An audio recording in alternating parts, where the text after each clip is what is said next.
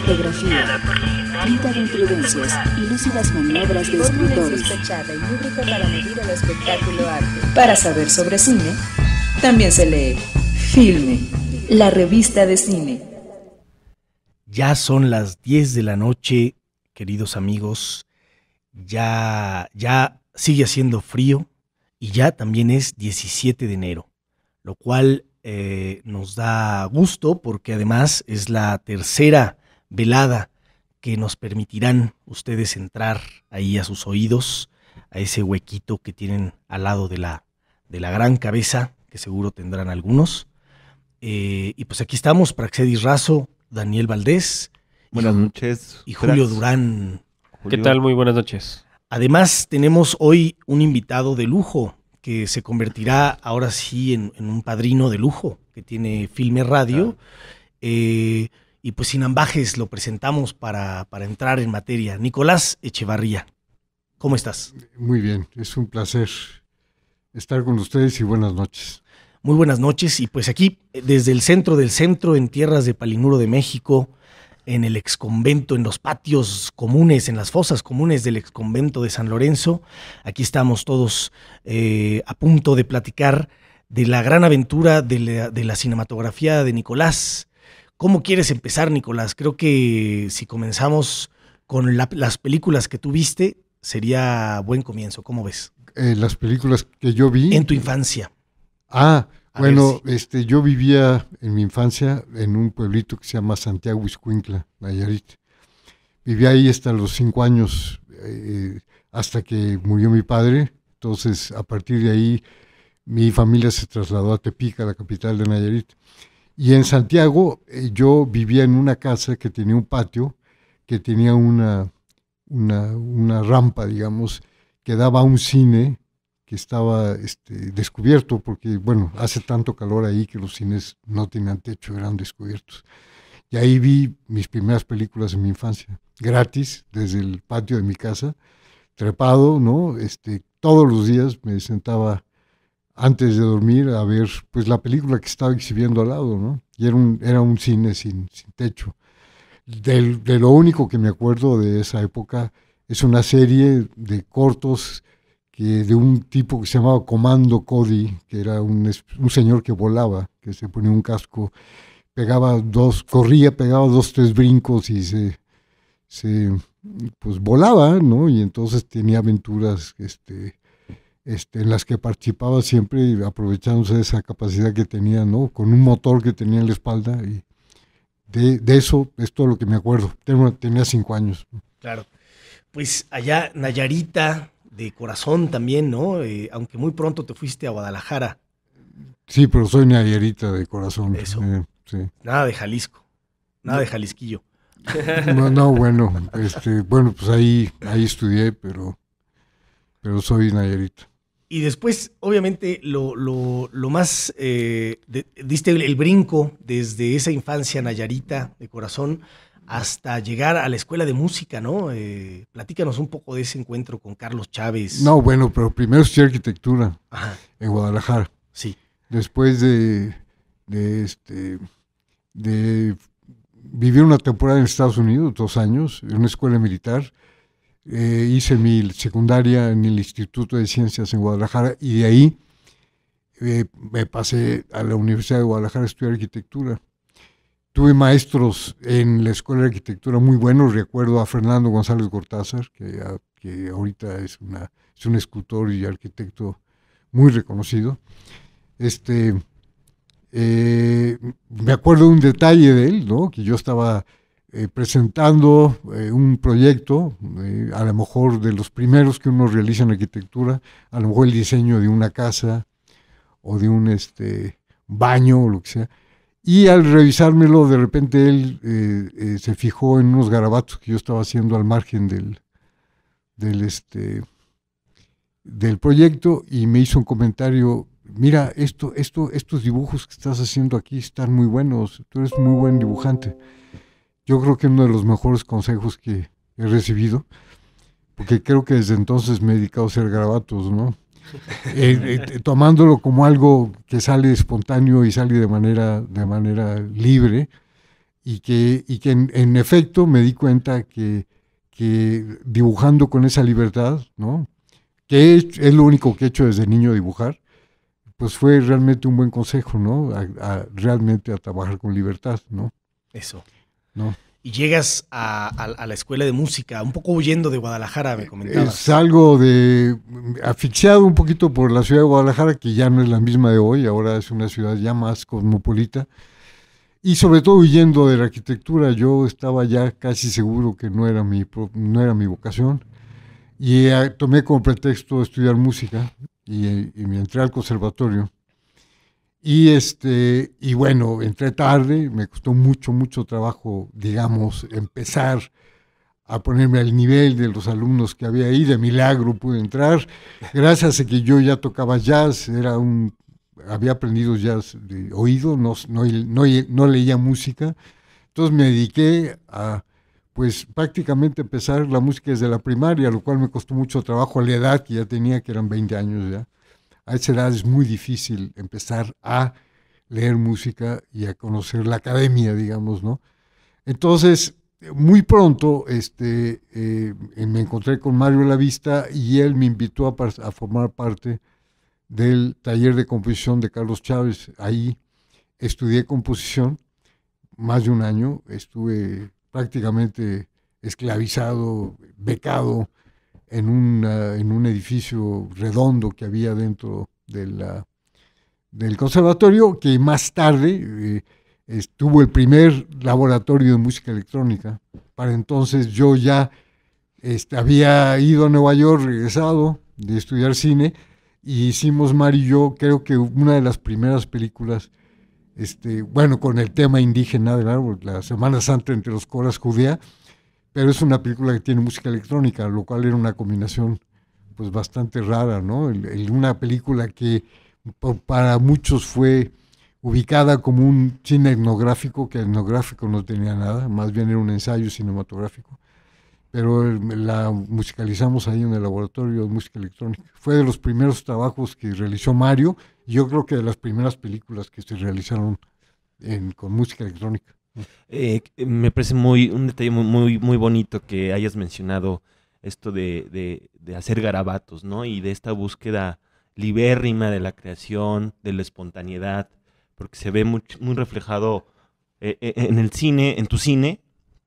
Y, y, yo quisiera antes de empezar con Judea, hay un episodio de tu vida en donde te vas a Nueva York y, empiezas también con, este, con esta búsqueda de, la música eh, estocástica o electroacústica, experimental.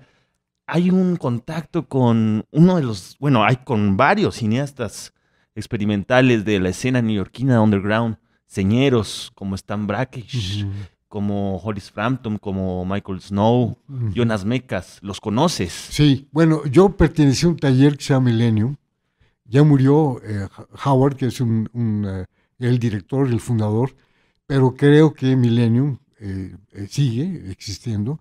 Y era un taller en donde la el único requisito era llevar una película en 16 o 35 milímetros y ellos te proporcionaban todo el, la infraestructura para terminar tu película, es decir, moviolas, eh, grabadoras, este, ahora todas eran películas muy personales, no eran equipos de cine, eran cineastas que, que de alguna manera eh, trabajaban en general casi todo ellos mismos, el sonido, la, ya estamos hablando de una época en donde era realmente muy difícil hacer cine, no es como ahora que todo el mundo puede hacer ya una película en un celular.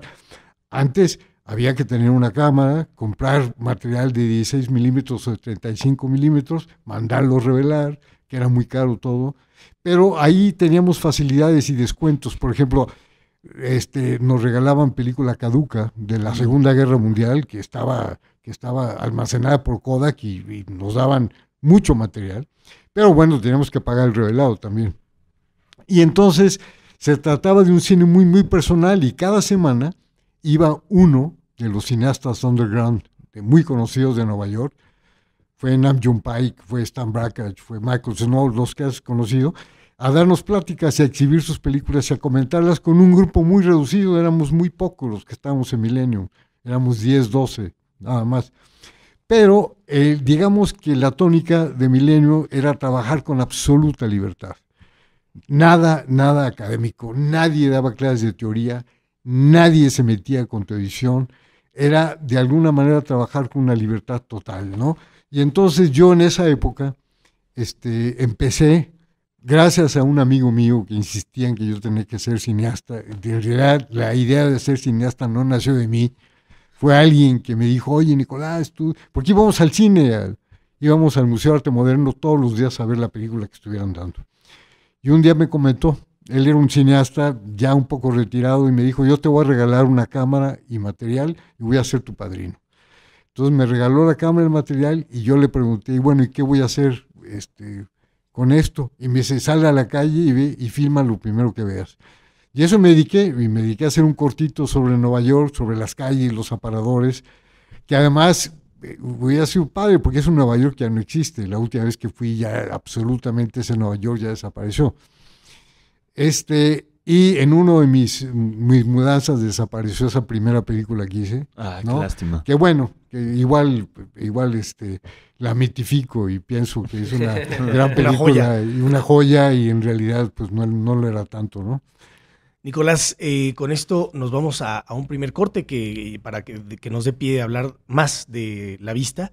Y pues es eh, el de la música del Museo Nacional de Antropología e Historia, que es la música que hiciste para tu documental Las Puertas del Tiempo. Así es. Escuchémosla y, y conversemos. Sigamos conversando. Estamos con Nicolás Echeverría acá en Filme Radio.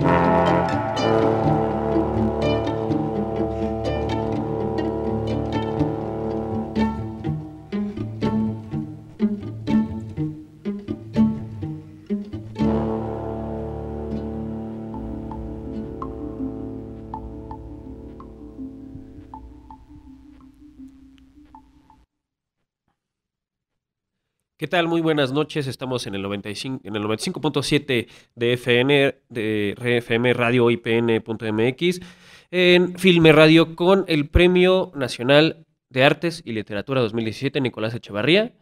Eh, rápidamente en las redes sociales nos puedes encontrar en arroba tanto en Twitter como en Facebook y en www.filmemagazine.mx. Eh, Nicolás, eh, nos quedamos en tus primeras obras, en tus primeros eh, pasos eh, por el mundo del cine, estos cortitos que, estabas comentando. En, eh, estábamos hablando de Millennium, estábamos hablando de, Nueva York. Hace, hace, un rato yo escuché una anécdota tuya. precisamente Nueva York te regresó a Nayarit.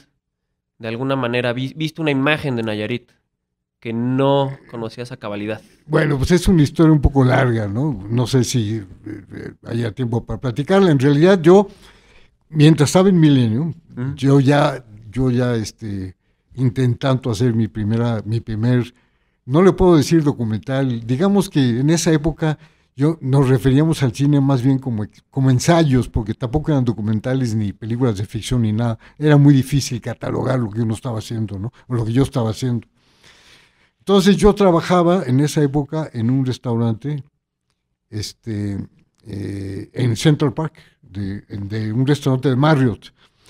Y, era un barco, estaba decorado como un barco el restaurante y yo y los meseros que trabajamos ahí vestíamos de marineros, ¿no? Todos estamos vestidos de marineros. ¿Tienes foto de eso no? ¿Para qué, Bueno, y entonces un día llegamos y eh, nos encontramos después de habernos vestido de, marineritos todos, que había cerrado el restaurante porque se había, se había descubierto una, un caso de hepatitis, entonces teníamos que todos hacernos exámenes de sangre para ver si ninguno de nosotros había contagiado y no podíamos seguir trabajando ahí, ¿no? con, esta, con este problema. Y a todos nos mandaron con diferentes doctores eh, eh, cerca, de, cerca del, de Central Park. Y a mí me tocó especialmente con uno, eh, al azar fue el que como escogieron. Y yo cuando estaba en el vestíbulo y acostumbrarme un poco a la, a la oscuridad del, del lugar, porque bueno, el, fue, era, era de día, de los primeros, las primeras horas de la mañana, este, me encontré con que estaban en, en el vestíbulo eh, John Lennon y Yoko Ono. Ahí estaban. Nada más. Bueno, fue un accidente, ¿no? estaban los dos vestidos de blanco con unos, con unos sombreros alados como, como, como brujos inofensivos los dos, tomados de la mano. No estaban hablando ningún, ni no se dirigían la palabra, pero se veían que llevaban una relación muy amorosa. Yo estaba sentado a un metro, metro y medio de ellos, enfrente de ellos, y bueno, como se usa mucho en Nueva York, este, cuando uno se encuentra con un famoso, pues es, de mal gusto pedirle un autógrafo o, pedirle un retrato con él, lo que sea, incluso hablar con la persona. Entonces yo me quedé callado y este no, y, me da un poquito de vergüenza a mí también porque yo estaba vestido de marinero, yo no sé qué habrán pensado ellos de mí, pero yo también, yo también los veía a ellos, este, pues vestidos no de, forma muy ortodoxa tampoco, ¿no? O sea que ellos, tampoco, ellos tampoco este, cantaban mal las rancheras, ¿no? Y este, en medio del nervio, eh, yo encontré una revista, una revista muy rara, eh, creo que era Planeta, una, una revista medio esotérica, este, y ahí, hojeando, al azar igual, me encontré con fotos de una celebración que parecía como, en, como que estamos en África, ¿no? Este, y empecé a leer y me di cuenta que era Nayarit, ¿no? Que era el, el, el, estado donde yo viví toda mi infancia. Y me, me, sorprendió de tal manera que yo fuera ignorante de, de eso. Eh, se trataba de la fiesta de la Semana Santa entre los coras. Eh, como ustedes saben, eh, en Nayarit compartimos los bicholes con Jalisco, Zacatecas, pero los coras son exclusivos de Nayarit, viven al norte del estado. Y esta fiesta, sigo pensando que es la más espectacular Semana Santa que se vive hasta la fecha en, México. Me impresionó tanto que yo ya tenía un poco la idea de regresar a México, ya había acabado de estar después de un año en Nueva York, y lo primero que hice fue ir a mi, a mi estado natal, y, viajar con los coras, con mi cámara, con mis, todavía el material, que había yo recibido en Nueva York, etcétera, con una cámara, este, eh, este, y, y, decidí hacer mi primer documental o película o ensayo cinematográfico formalmente, ya oficialmente, en, en Santa Teresa Nayarit. Y, este, y bueno, eh, este, como yo iba con solamente una cámara, no llevaba sonidista, decidí con Mario La Vista hacer la música en el laboratorio de música electrónica del conservatorio, que en esa época pues, ocupaba un salón mucho más grande que este, lleno de cables, ¿no? Parecía un poco el laboratorio de Frankenstein, ¿no? Lo que todo lo que se podía hacer ahí ahora se puede hacer en una laptop, ¿no? Es increíble cómo ha evolucionado la tecnología, sobre todo a nivel de sonido. ¿no? Estábamos en 1973. Eso 1974 ya. Todo el 73 lo viví en Nueva York. Eso. Entonces, 74 yo este, regresé, fui a, la, a la, filmar la Semana Santa, regresé con el material, este, eh, edité el material en una empresa de, comerciales que tiene un amigo ahí, Roberto Bejar, me dejó editar en Noble Asociados, ahí me dejó utilizar las moviolas.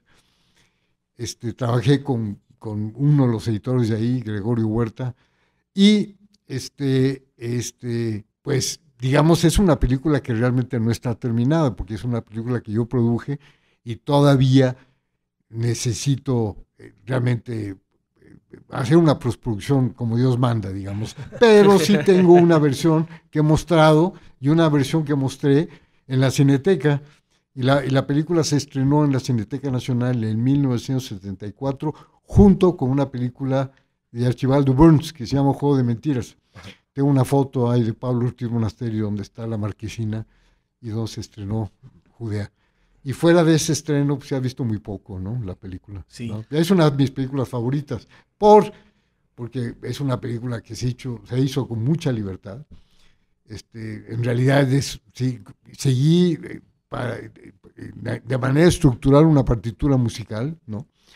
Y, este, y es, es, es, una película que para nada puede decirse que es etnográfica, aunque el tema es una Semana Santa indígena, digamos. Entonces, mucho de, lo que, de las cosas buenas que yo he hecho, de las cosas que, de las cuales me, me congratulo, digamos, ya están en semilla en esa película. ¿no? La, la cuestión, por ejemplo, de, de buscar de, un, de, una manera como el éxtasis ¿no? en, el, en el cine. ¿no? Sí. Eh, eh, eh, prescindiendo de, del narrador o de... Ah, claro, claro, he dado, he dado, mi carrera ha sido un zigzag, he hecho cosas muy convencionales y he hecho cosas menos convencionales y en algunas veces se han mezclado una cosa con la otra, ¿no? Pero siempre creo que de repente hay un destello de Judea en casi todos los trabajos que he realizado podemos pensar un poco ya para entrar más en tu filmografía eh, más, más adentro, en María Sabina, ¿cómo se refleja Judea en María Sabina? Ese documental del 79. Bueno, yo ya tenía un interés, y era mucho por la época, en, la, en los alucinógenos y en todo el mundo de Carlos Castaneda, ¿no? que en esa época estaba el, el, el zen budismo, este, y bueno, obviamente yo cuando estaba ya en el conservatorio, yo había visitado ya a María Sabina un par de veces, ya había comido hongos con ella. Era un ritual obligado, digamos, de todos los este, jóvenes. jóvenes, agarrar la mochila y aventarse esta odisea maravillosa de, en autobuses y en, y en, en, en, Como pues se podía. en esta, en esta subida, en esta subida al cielo, digamos, que era traspasar esas nubes, ¿no? En esas montañas llegar al, pues, al territorio de los hongos alucinógenos, ¿no? Que, que por cierto, el primer viaje que yo hice, viajé con María Sabina en el autobús sin saber que era ella. Sí. Por seis horas, ¿no? Y al llegar a Huauta yo me dediqué a buscarla y bueno, con la sorpresa que era mi acompañante. Yo obviamente no pude hablar con ella porque ya no hablaba español, hablaba solamente mazateco. Entonces mis primeras sesiones con María Sabina de hongos era mientras yo era estudiante de, de, de, de, de música. Claro. Todavía ni siquiera yo tenía idea de que me iba a convertir en un cineasta. Y, ¿no? y, ya cuando fuiste a hacer la película ya ibas con el libro de Álvaro Estrada en el regazo, ¿no? Sí, claro. Sí, porque yo me dediqué, obviamente. Generalmente eh, el, hay una cosa muy interesante de, los, de ser documentalista que a veces uno toca temas que uno es totalmente ignorante. Y uno tiene que echarse un clavado, sumergirse el, por ejemplo, bueno, no me quiero brincar, pero me pasó en el 68. Yo era muy joven cuando no viví el movimiento, yo vivía en Guadalajara. Sin embargo, este, para mí fue un reto increíble haberme, haberme eh, dedicado eh, mucho tiempo a investigar y qué fue lo que pasó, etcétera, etcétera. No, con, María Sabina no tanto, yo ya tenía esta información, ya la conocía, yo ya había comido hongos con ella, repito. Entonces, cuando yo recibí el encargo de Bosco Aroche y de, de, Churubusco de hacer la película, este, este, pues yo ya tenía una idea, una idea más o menos, este, más o menos clara, ¿no? Claro, con la ayuda de, del libro de, de Wasson, ¿no? de Wasson. De- y de, y Álvaro. Estrada. Y, y en realidad había muy poco publicado sobre ella, ¿no? Sí, pues vamos a hacer un, vamos a escuchar otra vez a, a Mario Lavista con la pieza también de, dedicada a las puertas del tiempo, la segunda del Museo de Antropología, tu segundo documental de- del Museo de Antropología e Historia, y regresamos después de nuestros amables comerciales del INE. Seguimos acá en Filme Radio en 95.7 de FM.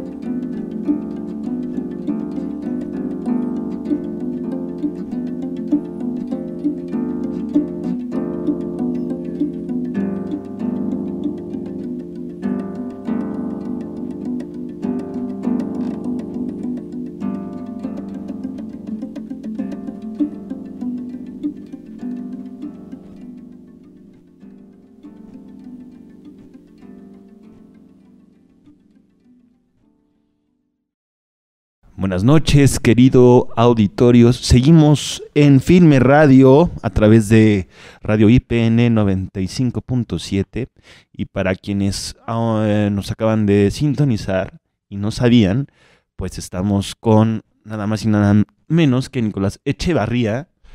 Y estábamos hablando sobre su segundo documental, María Sabina, que todo el mundo debería de verlo. Y bueno, pues este, nos quedamos como a la mitad del camino. Nos platicabas, Nicolás, Sí, bueno, cómo fue este encuentro. una, una de las ventajas de, de- de ser documentalista y uno de los grandes privilegios que yo he tenido es por conocer gente de primera, maravillosa, ¿no? Y bueno, María Sabina es una de ellas. Yo creo que ella es un, era una especie de templo viviente. Claro, una especie como de una mina inexplorada, porque en realidad ella, eh, fuera de las entrevistas y de los pocos libros que se publicaron sobre ella, se sabe realmente muy poco de María Sabina, ¿no? Y, ella, de alguna manera, este, conservó una tradición que espero siga existiendo en este país, que es la de curar todo tipo de enfermedades, tanto del cuerpo como del alma, a través de los hongos alucinógenos. Y tenía un- una, una técnica que ella la, eh, nominaba la velada, que era una especie de, de experiencia nocturna, ¿no? a, partir de que oscurecía, digamos, hasta el amanecer, con una relación muy intensa, ¿no?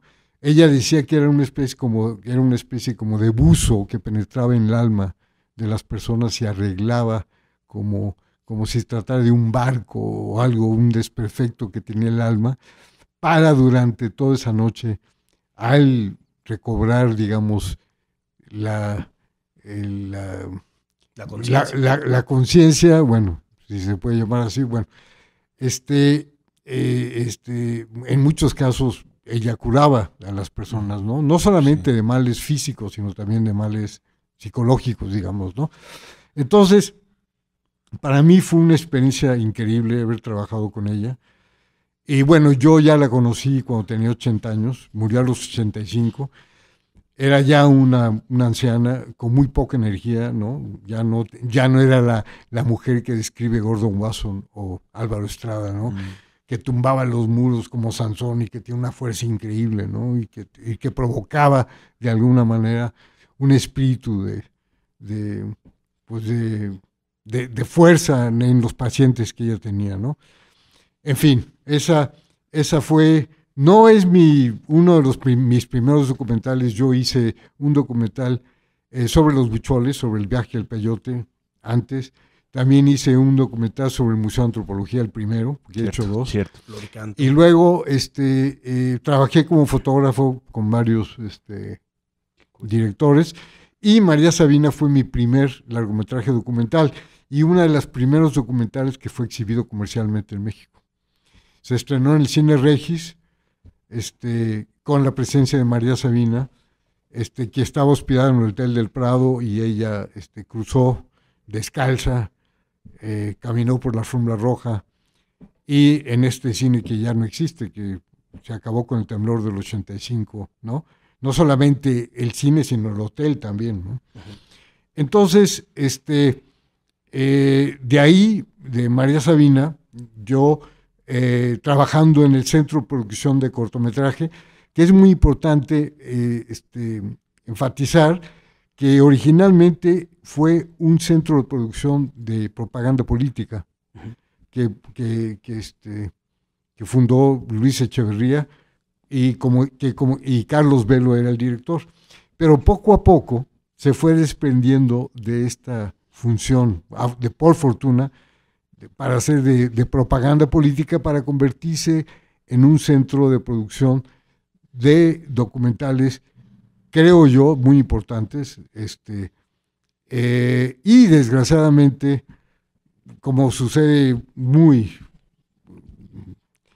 seguido en este país, las cosas que funcionan de repente desaparecen. Yo nunca he entendido por qué el Centro de Producción de Cortometrajes de repente dejó de existir, cuando realmente fue una fuente de este, documentales con temas muy interesantes. Y no solamente ese, eso, fue también un lugar donde se formaron muchos cineastas, ¿no? entre ellos yo.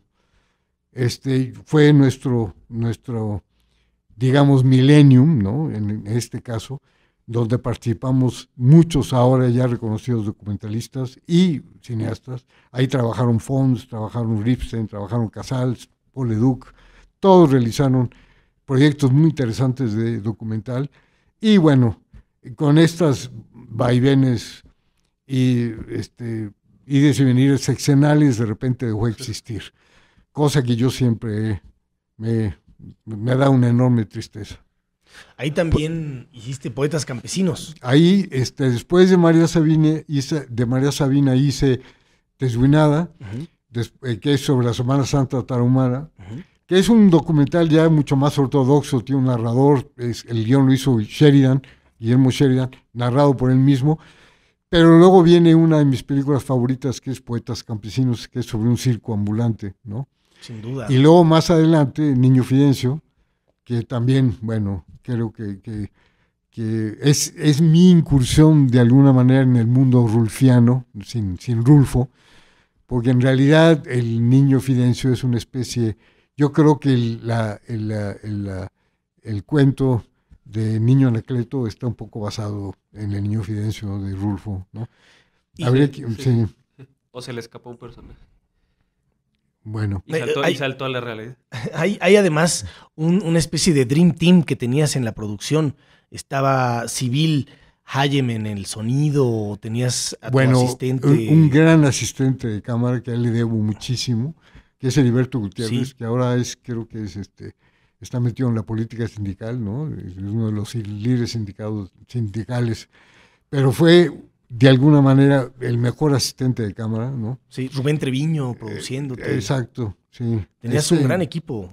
eh, era un pequeño equipo, ¿eh? Sí, bueno, pequeño pero grande, Sí. de dimensiones internas. Sí, bueno, son películas que nunca hubiera podido haber hecho si hubiera tenido un, un- un es- un equipo más grande, ¿no? Así es. justo, justo te quería preguntar, eh, ¿qué, qué, qué pasa con un cineasta que hace eh, un cine como el de Poetas Campesinos o como el de Niño Fidencio? O sea, ¿qué, qué, qué tan fácil es hacer o trabajar con esa libertad? Pues mira, cada uno de las, de las películas hace un reto diferente, ¿no? A veces uno eh, espera mucho de los temas que uno escoge y, este, y se encuentra con muchas dificultades, ¿no?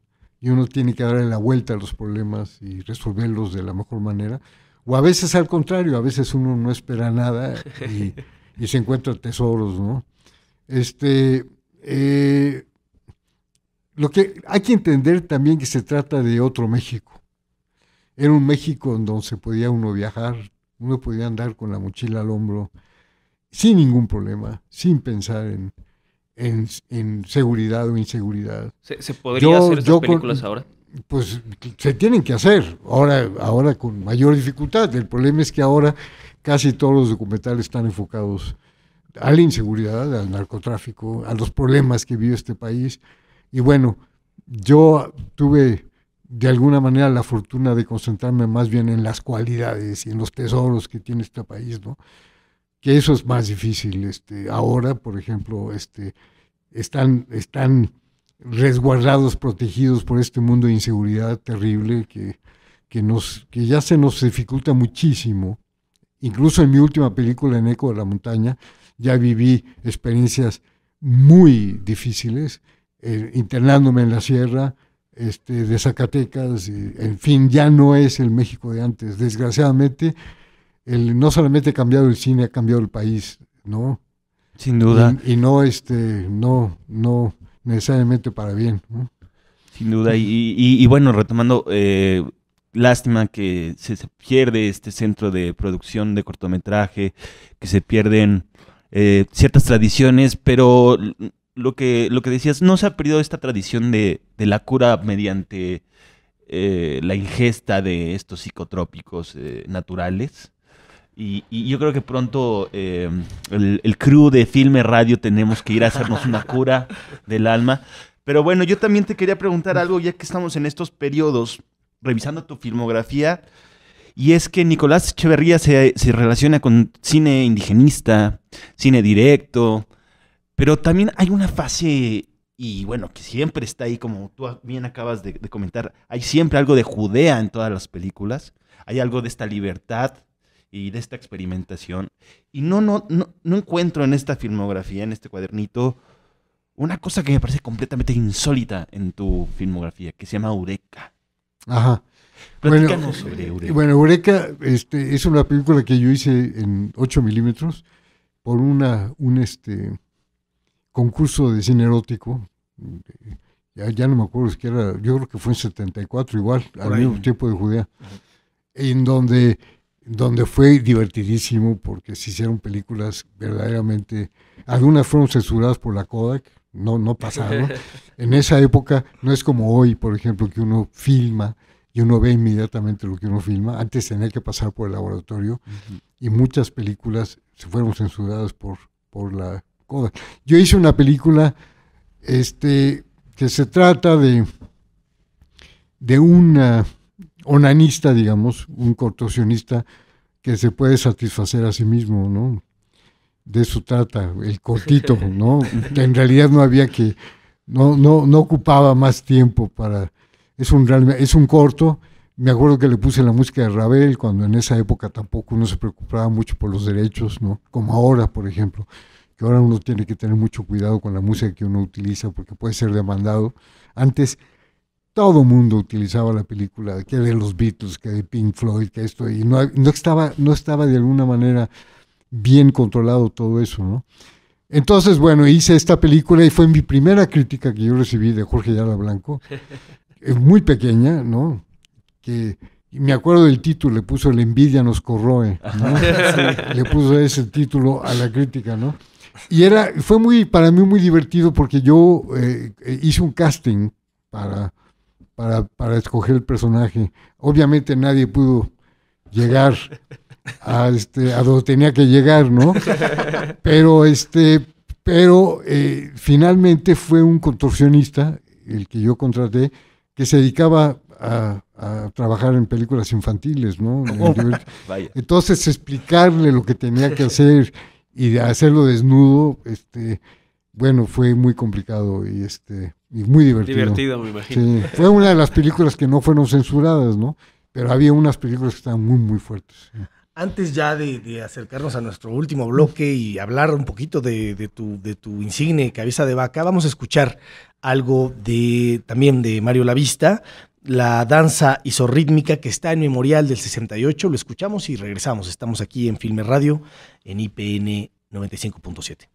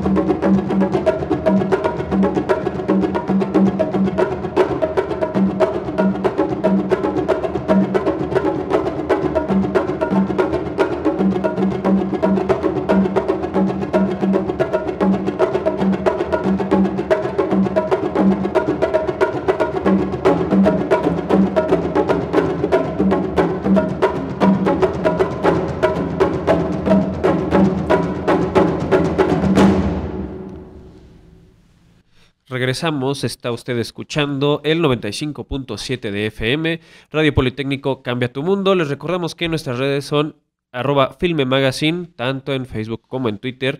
Y seguimos aquí con Nicolás Echevarría, eh, maestro.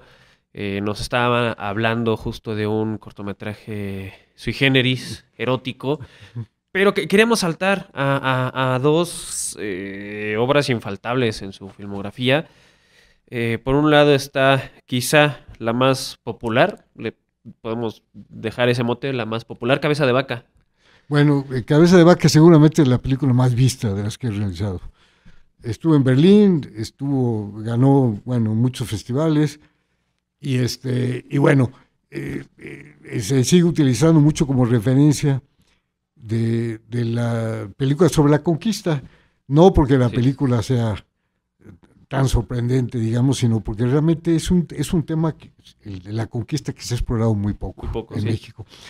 Tenemos que recordar que el tema de la conquista fue prohibido mucho tiempo en México. O sea, muchas personas, directores, Orson Welles, Kirk Douglas, eh, bueno, recientemente Spielberg, bueno, han querido hacer Herzog, la película sobre la conquista de México.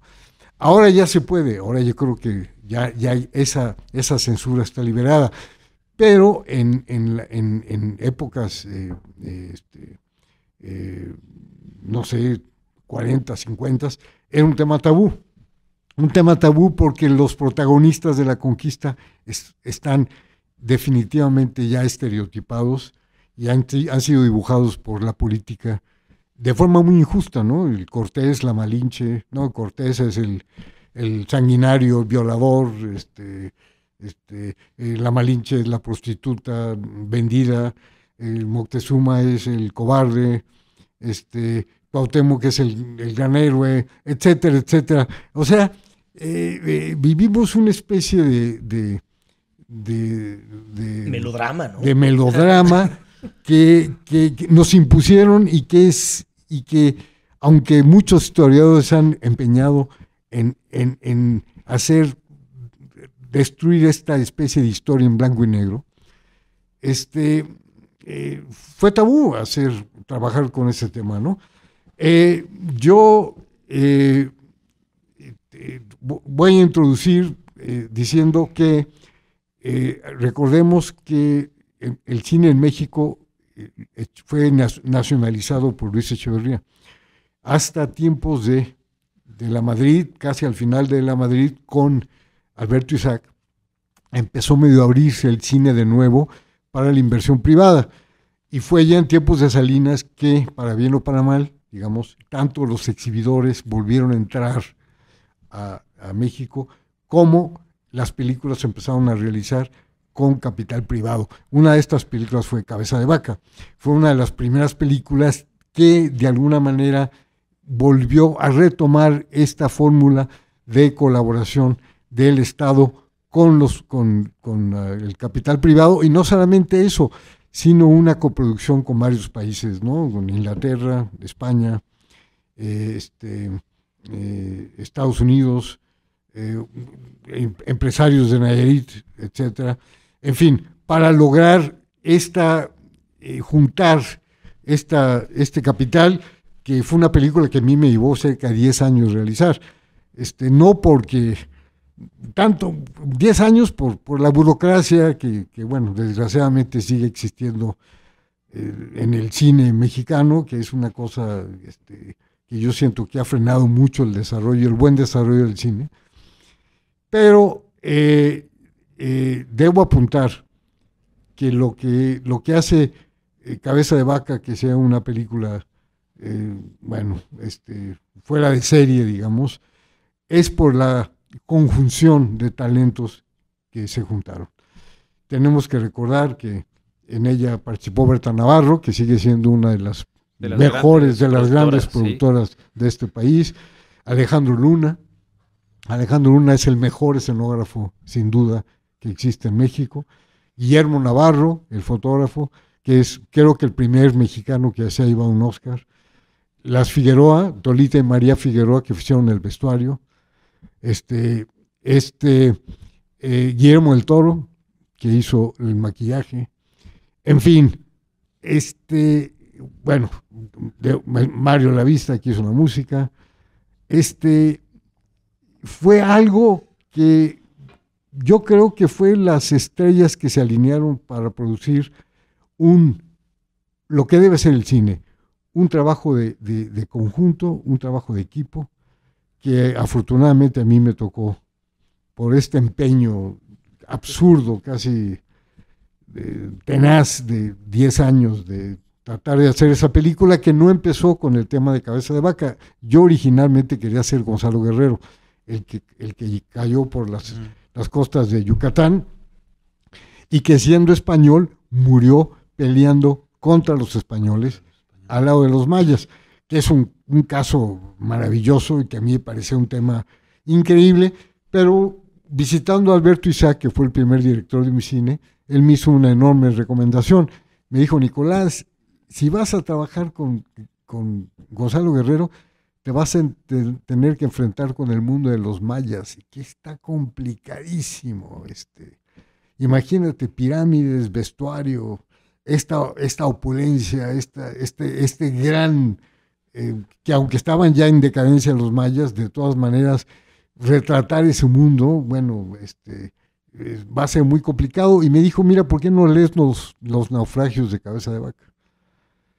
Entonces yo tomé el libro de los naufragios y al leerlo, este, me di cuenta que tenía toda la razón, que había que en lugar que de vestir, había que encuerar ¿no? a, los, actores, desvestirlos, y que en lugar de construir pirámides y eso, pues mi, mi realmente mi, mi escenografía iba a ser el, los, pantanos, los bosques, el desierto, o sea, la naturaleza. No tenía yo que meterme en estos problemas de construir ni pirámides ni nada. Es, más. Porque aparte era una época complicada para el cine mexicano. Muy complicada.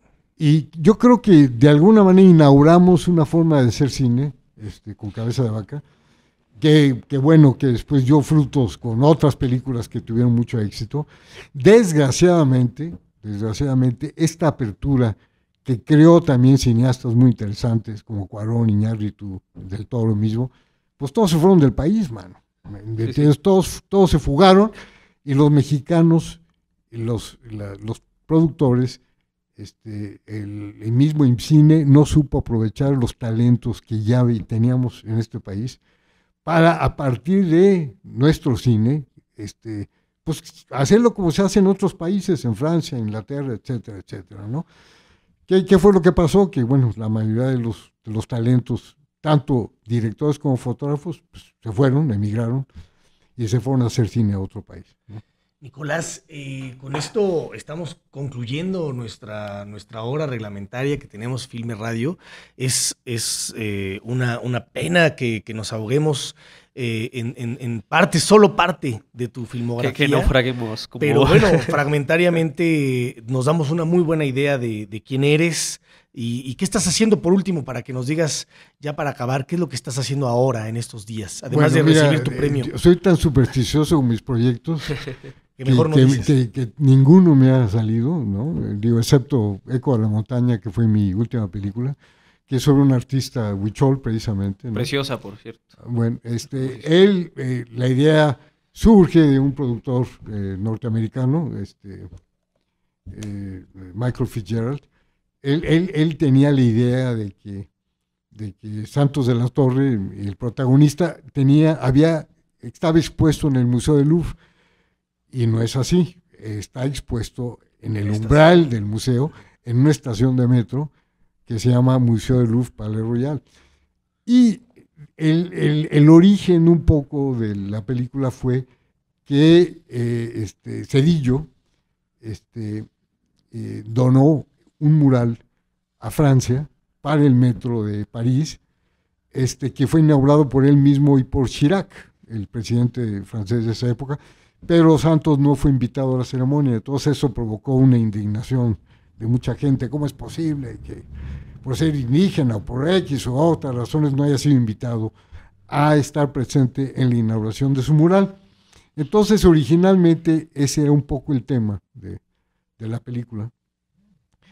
Bueno, fue tal el escándalo que, que, este, que un Televisa mandó un helicóptero buscando al actor que tampoco sabían, al artista que tampoco sabían exactamente quién era, y él pensó que eran o el ejército que venía a fumigar todo lo que estaba alrededor, ¿no? Por, este, por sospechas que estaban sembrando marihuana, o narcos mismos que iban a, cubrir alguna venganza, y todo el pueblo se escondió, mano, el pueblo de, de, Santos. De, Santos, ¿no? este, y eh, ese es el inicio de la película, así empieza, ¿no? Y, bueno, pero con ese inicio nos tenemos que despedir porque estamos ya abundando eh, sobre la hora. Ese es un inicio genial que además pueden consultar en Netflix. Es la película, quizá la, única película que tienes en Netflix. Y pues qué mejor que la recomendación del propio Nicolás Echevarría. Corran a eh, verla. Diciendo, diciendo el, el prólogo de la película que está ahí a- al alcance de sus controles. Y pues con esto nos despedimos. Daniel Valdés, Gracias, Proxedis. Julio Durán. Bonita noche. Y pues Nicolás Echeverría, muchísimas gracias por estar acá. Eh, disfrutemos, sigamos disfrutando la noche y nos vemos el próximo miércoles a la misma hora. Gracias.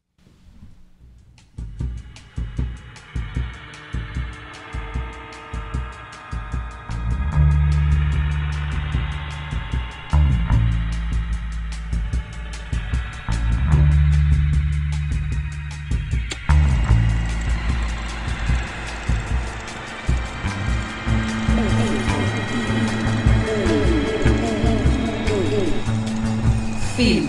Luz, movimiento, fotografía, tinta de imprudencias y lúcidas maniobras de escritores. insospechada y lúbrica para medir el espectáculo arte. Para saber sobre cine, también se lee Filme, la revista de cine.